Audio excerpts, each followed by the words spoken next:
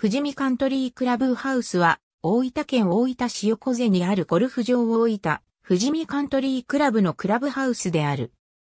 大分市出身の建築家、磯崎真の設計により、1974年9月に竣工した。磯崎真が建築の解体を掲げて、機能主義を中心とする近代主義から離れつつあった時代の作品で、同年に竣工した群馬県立近代美術館や北九州市立中央図書館と並んでこの時期の代表的作品の一つである。この時期の作品では、玉、立方体、円筒といった単純な幾何図形を用い、それを図形的に操作するマニエリスム的な設計手法が取られている。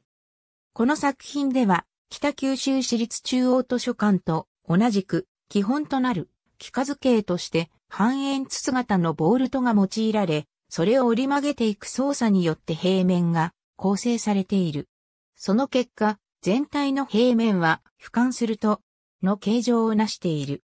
クエスチョンマークの先端の点に当たる部分に車寄せが設けられており、そこからエントランスを入ると内部空間は右側に湾曲した U 字型で、更衣室やレストランなどが動線に沿って配されている。大分富士見カントリークラブは、大分県大分市横瀬にあるゴルフ場。1975年5月1日に開場した、パシフィックゴルフマネージメントが運営している。ありがとうございます。